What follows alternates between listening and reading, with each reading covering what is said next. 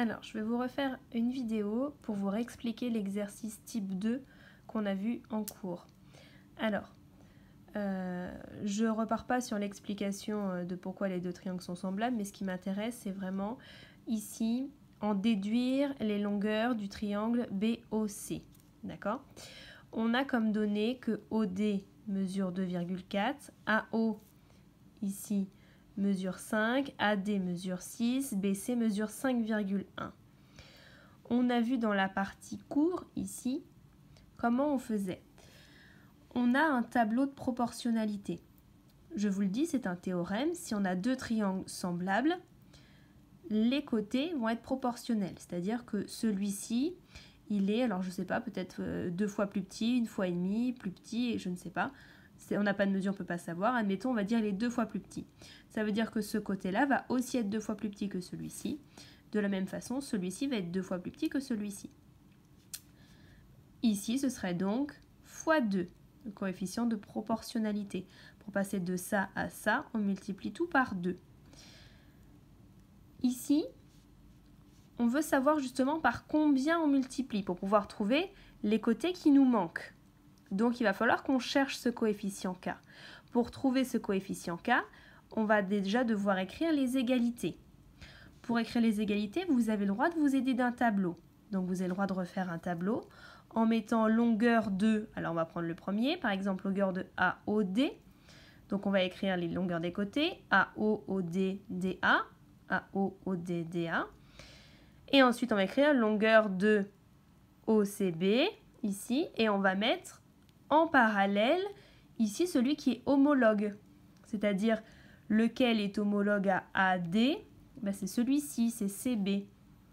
Lequel est homologue à OD C'est OC. Lequel est homologue à OA C'est OB. Vous voyez, celui-ci, il faut le retourner complètement pour bien avoir les côtés qui sont homologues.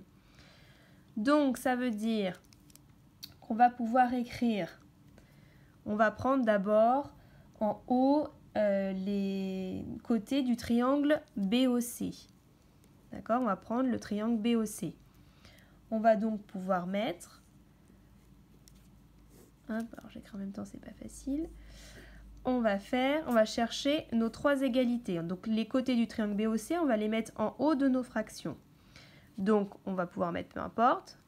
D'abord BO, puis ensuite CO, puis ensuite euh, BC. D'accord? Le deuxième triangle, je vais changer de couleur, c'est OAD. Donc le triangle euh, OAD, on va le mettre en dessous. On va mettre ses mesures de côté. Quel est le côté qui est homologue avec BO Celui qui va avec BO, c'est, on a dit, AO. Donc ici, on va écrire AO. Ensuite, celui qui va avec CO, c'est OD. Donc ici, on va écrire OD ou DO, ça marche tout pareil. Et lequel est homologue avec BC, c'est AD. Donc ici, on va écrire AD. On a donc écrit notre égalité. OK?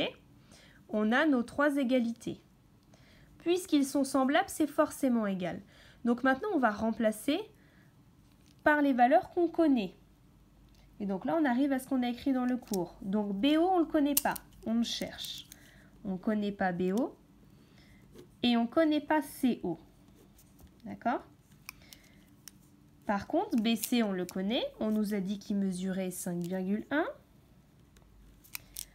AO, on nous a dit qu'il mesurait 5. Euh, OD, on nous a dit qu'il mesurait 2,4. Et AD, on nous a dit qu'il mesurait 6. D'accord?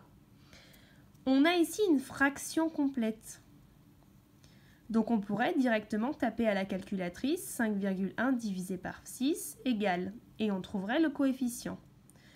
Il y aurait plus après qu'à faire euh, un rapport pour trouver. Ou alors on va utiliser ce qu'on appelle le produit en croix. C'est-à-dire si on cherche CO, on va chercher CO, on va donc s'intéresser qu'à ces deux fractions. On a besoin d'avoir une fraction complète pour pouvoir y arriver. CO ici. Pour pouvoir le trouver, on utilise donc le produit en croix. Donc on va faire ce qu'on appelle une petite croix ici, comme ça. On cherche ça. Le produit en croix, on regarde, là on voit notre croix, on regarde l'opposé ici à CO, pas, celle qui, pas la flèche qui part de CO mais l'autre. Ces deux-là, on va les multiplier ensemble. Donc ça va être 2,4 fois 5,1. Et on va le diviser par ce qui est sur la même ligne que CO. Donc 6. On n'a plus qu'à taper tout ça à la calculatrice et on va tomber sur 2,04 cm. On n'oublie pas l'unité. D'accord? Si maintenant on cherchait BO, on n'a pas besoin de ça. Alors soit on peut utiliser à la place de CO 2,04 maintenant qu'on l'a calculé et faire 5 fois 2,04 divisé par 2,4 mais on évite d'utiliser une valeur qu'on a calculée. Comme ça, si on s'est trompé dans notre calcul, eh ben, on, trouvera on trouvera quand même le bon BO. Donc on va prendre les valeurs qu'on connaît déjà. Donc on ne va pas s'occuper de ça. On va donc faire la croix comme ça. 5 fois 5,1 divisé par 6. D'accord? Et on trouvera donc BO 5 fois 5,1 divisé par 6. C'est le produit en croix. Le produit en croix dit en fait que ça fois ça est égal à ça fois ça.